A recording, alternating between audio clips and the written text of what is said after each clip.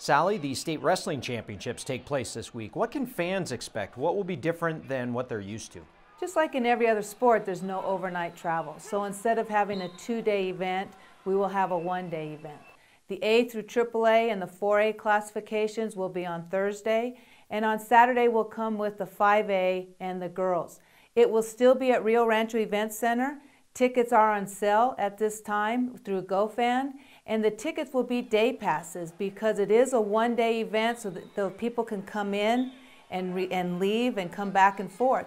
One, one of the other reasons for a day pass is because there's no concessions in any of our events per the governor's orders. So that allows people on that one day solid event from the morning to the afternoon to be able to leave and return. When it comes to scholastic eligibility, many student athletes were given a clean slate at some point this past school year. Will that be the case when the new school year starts in the fall? I think now, now that the semesters are ending, that the parents and the students need to realize that we are back to what we call normal when it comes to scholastic eligibility. Last year, at this time, at the end of the semester, second semester, we did give a clean slate for the fall sports, and that was due to the kids trying to get used to remote learning. And it was a pandemic was new. We were all just trying to figure everything out.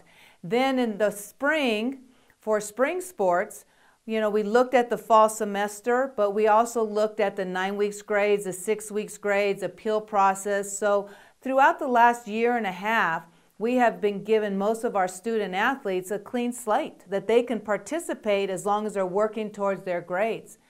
For this next year, we are going back to normal. So for the fall, whatever the spring semester grades are right now in May will determine eligibility in the fall. And that is a 2.0 with no Fs. If there is one F, you can look at the cumulative provision but even then, you need to look at taking summer school because we will not have a clean slate for the fall sports. The NMAA Commission voted on sites for state quarterfinals and semifinals for soccer. What did they decide? I think JP, you know, through the pandemic, we always say what what happened positively or what happened good that we can use for the future years. And in soccer, we had our quarterfinals and our semifinals at home sites, and then we came to the central region to Albuquerque for the finals. Um, our soccer community really did like that, and our athletic directors. So we sent a survey out, asked the coaches, asked the athletic directors, is this something that you want to carry over to the future? And ironically, 75 to 80% of coaches and athletic directors voted to let's have a centralized location for the finals. But in the first round, because we'll go back to the bracket of 12, the quarters and the semis will be at home sites. Do you think any other changes from the pandemic will be instituted in the new school year? I think we're looking at every single sport and every single activity as to what, again, is positive that we can take for the future. Um, we just talked about GoFan digital ticketing. That is something that we are going to carry over for the future. Um, we've talked about home sites and travel and, and, do we do one day meets? You know, what do we do? Top 16 only to qualify in swimming and diving and track and field. All of those little changes that we had to do this year in every single sport, we will look to see what is best for that sport for the future. We are approaching the summer camp season. What, when can schools hold summer workouts and overnight camps? We're staying with the same summer in definition for the NMAA always begins on Memorial Weekend. We are staying with that for the fall and winter sports. However, we are encouraging those fall and winter coaches to please allow their students and their athletes to make sure that they finish the spring season. We cannot forget that we did not have a spring season last year and we are this year, we want our kids to be able to maximize as much as they can.